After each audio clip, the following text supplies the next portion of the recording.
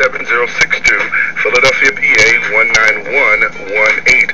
And close an offering of more. Fight for her. Premiering Monday, January 8th at 9, 8 central.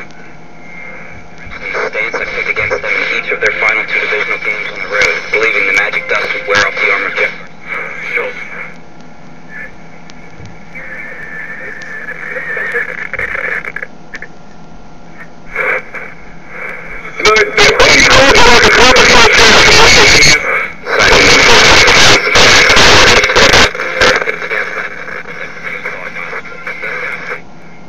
PGW, the City of Philadelphia, and United Way. Dot org. That's www.truelightfellowship.org.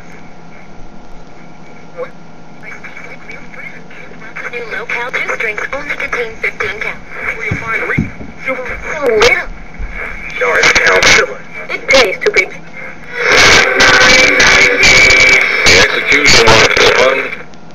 Hussein. I'm Bill Brosey with the news you'll be talking about on the Dennis Prager Show on News Talk 990 AM.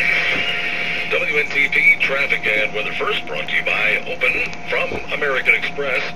Very heavy traffic on the Schuylkill this afternoon, heading east from Girard Avenue through Spring Garden Street and westbound. It's Lincoln and Kelly Drive. That exit all the way to the Conshohocken Curve. Apparently there's an accident to the left lane at Gladwyne. We have no delays really on the eastbound Vine Expressway. Westbound, Parkway out to the westbound Schuylkill ramp. We have some slow going too on the PA Turnpike eastbound at Norristown. Right lane construction. We have an accident in the uh, left lane now westbound at uh, Valley Forge. Maybe.